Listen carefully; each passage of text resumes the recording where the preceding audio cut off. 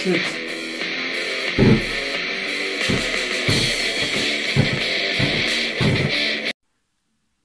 Jetzt. Jo, Freunde. Was haben wir heute wieder Schönes? Endlich mal wieder eine schöne Waffe. Uralt. Na, Überraschung. Habt ihr ja im Thumbnail gesehen, ne? Da ist das gute Stück. Ja, was ist das eigentlich? Ähm, tja, Kaliber 68, sage ich bloß. Was könnte das sein? Ja, ganz klar eine Paintball-Pistole. Ein Riesenteil, relativ schwer, hauptsächlich aus Plaste, was mir aber eher so wie Glasfaser verstärkter Kunststoff aussieht. Weil das sieht so sehr, naja, sieht jedenfalls irgendwie danach aus. Es ist wirklich stabil, sich mal runtergefallen. Hm. Die Anregung dazu kam eigentlich, Deswegen, äh, der gute Reaper hat in seinem Kanal gezeigt, wie man so einen hässlichen Kunststoff schwarz färben kann bei einer Airsoft-Pistole. Da, Weiter. so, Störung ist wieder vorbei.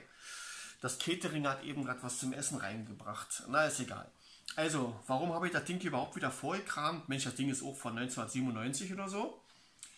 Ähm, der gute Reaper hat in seinem Airsoft-Kanal gezeigt, wie man äh, andersfarbigen Kunststoff schön schwarz färbt. Da habe ich mir gedacht, Mensch, das will ich auch mal probieren. Das gute Teil äh, aus der Garage hervorgewühlt.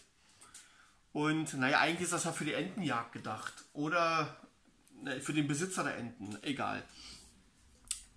Jedenfalls habe ich das Ding schon mal Teil demontiert. Es ist alles schon zerlegt. Äh, das Innenleben ist schon draußen.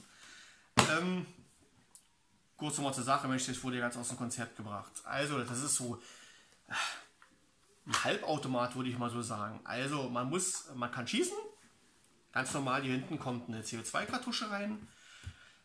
Der Schu äh, es muss repetiert werden, indem man das hier hinten reindrückt. Zack. Dann wird die äh, Knarre vorgespannt oder die Kugel. Magazin ist hier oben in den Lauf hinein, verschlossen. Und beim Schießen äh, schnappt das wieder zurück. Das ist so eine ganz einfache Funktionsweise. Äh, wenn das Spiel äh, schnell ist, hast du damit gleich wieder verloren. Es sei denn, du kannst besonders gut zielen. Hat bloß ein paar Meter Reichweite. Über Kimmer und Korn wird gezielt. Jeweils, was für mich interessant war, hier unten ist der Lauf und hier oben kommt das Magazin rein.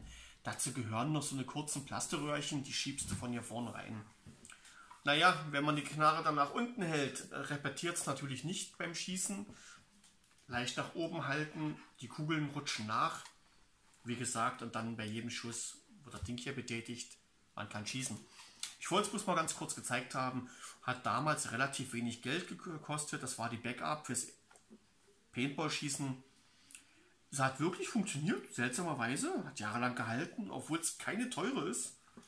Ich weiß auch noch nicht mal. Ihr seht, da steht doch nicht mal irgendwo eine Firmenbezeichnung drauf.